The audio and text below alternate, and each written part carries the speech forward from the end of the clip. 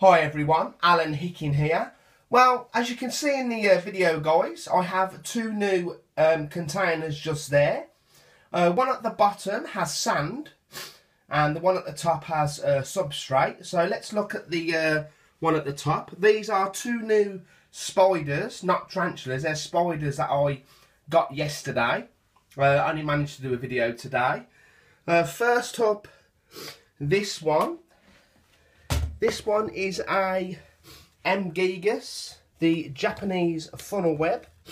Um, it's not very big. It's around about a inch to inch and a half. I think, I think I can see it.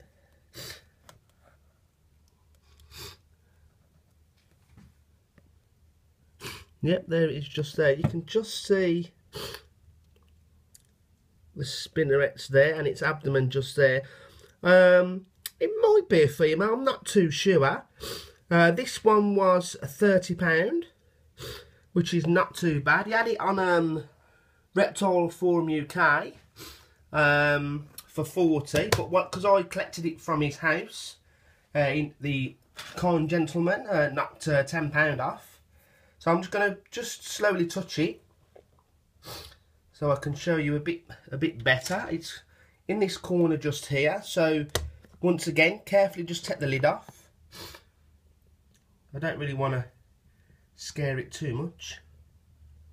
But I believe it might be in pre-molt. I'm not too sure. The abdomen does look a little bit dark. But I'm hoping it's a female. So that's the new tea I got yesterday. And the other one that's got us in the sand. You can probably guess what it is. Uh, I'm not going to pronounce the uh, scientific name because I might sound a bit silly.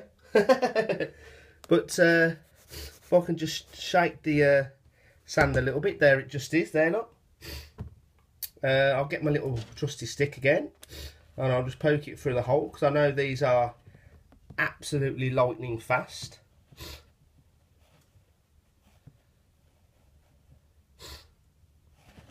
And this one I got for free because uh, I bought the two.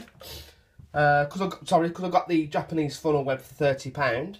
Uh, he threw this one as a freebie.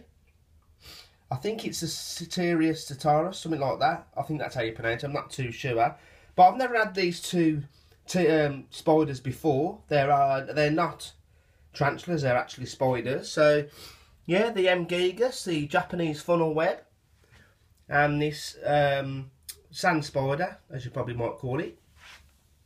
Not very big, about the sizes of a five pence or a, uh, a cent if you're in America across the pond. But yeah, guys, uh, my two new teas uh, to add my to add my to add my collection. and thanks for watching, everyone.